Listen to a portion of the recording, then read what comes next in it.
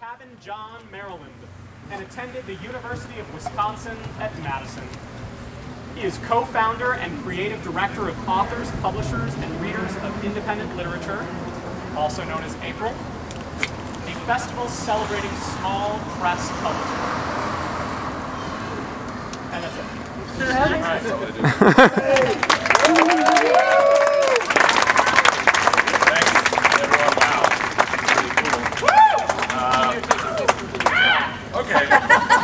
Usually doesn't turn out well. It's my, it's my least photogenic. So, so, welcome to the alfresco portion of the evening. Um, and uh, as Tara's bio mentioned, um, she, uh, our friend Frances Dinger, um, who's now in Italy, um, having fun times, um, organized a public art thing down in Occidental Square, and I know Greg's got some stuff there. Um, Stacey Levine, um, Richard Chiem, Tara, myself, we all have stuff, and um, due to size uh, constraints, I had to cut mine like a lot, so I'm going to be reading sort of the beefed up version of that. And the other thing about that was, uh, due to no fault of Frances or the organizer, they misspelled my name. And so it was Wally Fitzgerald.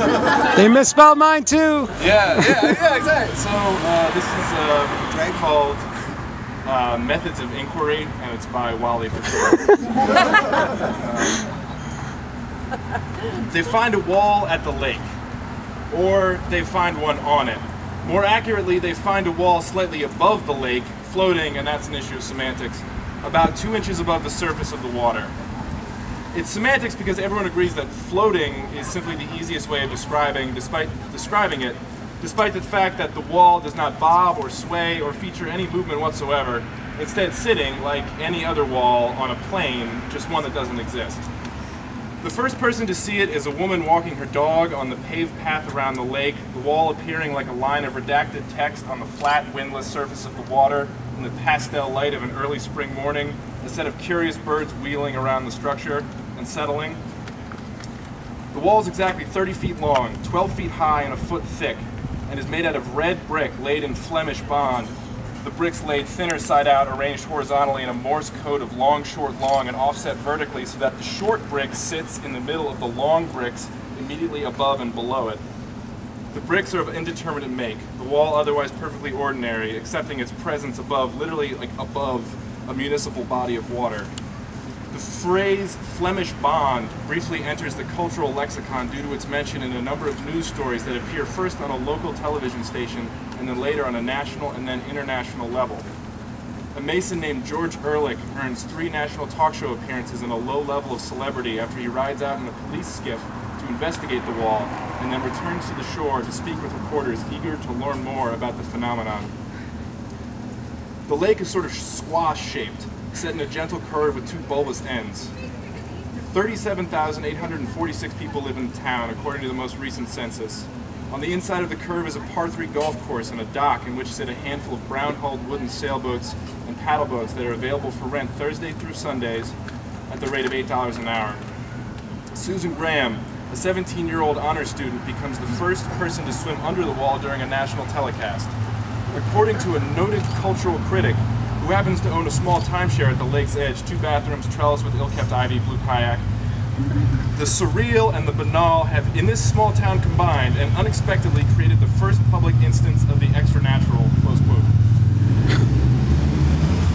A photographer for a local daily takes what's later known as the iconic photo of the wall, midday, three boats in the background, and a battlement of haggard gray seagulls, all facing left, on top of the weirdly moss-free wall. No one can explain that paddleboat rentals, understandably, go up. During a lakeside interview, George Ehrlich is flummoxed by an arts journalist who, believing him to be the aforementioned cultural critic, and to be fair, they look a lot alike, asks the lifelong town residents, that's Hills High Baffled Roosters, class of 74, what exactly he means by the, quote, first public instance of the extranatural. More specifically, have there been private instances? The Mason, who is wearing a green tie, unconsciously rotates his watch around his wrist and tries gallantly for an answer. Enthusiasm eventually wanes. The local police, having spent a large portion of their overtime budget guarding an object that does not move and does not appear to be anything or do anything but be, recall all but one of their boats and set up a ring of sad, algae-covered buoys around the wall.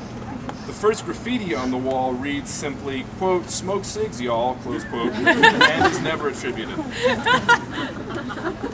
One night, weeks later, George Ehrlich takes a shower after work and the overhead light goes out in his, bathroom, in his bathroom and he is left in the hot water in the dark. He reaches out and fumbles for the vanity light, wet fingers slipping over the switch, and as the light comes on, he thinks of a man who earlier that day had approached him on the street because he, the man, recognized him, Ehrlich, but could not remember the context. Then Ehrlich pulls his hand back and slumps a bit, his body back to haplessly interrupting what water there is. Thanks.